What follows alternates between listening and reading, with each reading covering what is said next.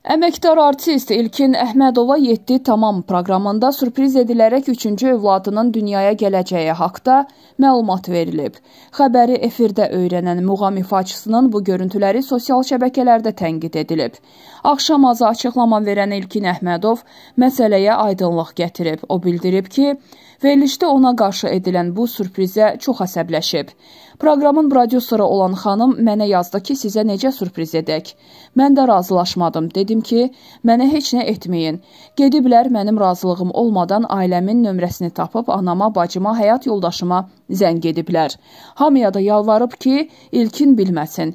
Niyə? Məqsəd nədir? Əgər mən sizə icazə vermirəmsə, niyə üstümdən aşıb bu dərəcədə irəli getdiniz? Sürpriz efirin sonunda oldu. Orada tamaşaçıya hörmətsizlik olmasın deyə proqramı tərk etmədim. Verilişin sonuna kimi soruşdum ki, nədir sürpriz? Dedilər, sizə xeyir olan bir şeydir, narahat olmayın. Mən belə şeylərə yol vermirəm. İnsanlar niyə məni tənqid etməlidirlər?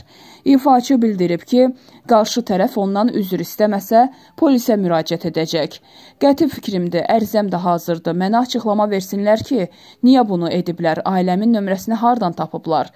Çıxıb hər yerdə məndən üzr istəsinlər, yoxsa polisə müraciət edəcəyəm.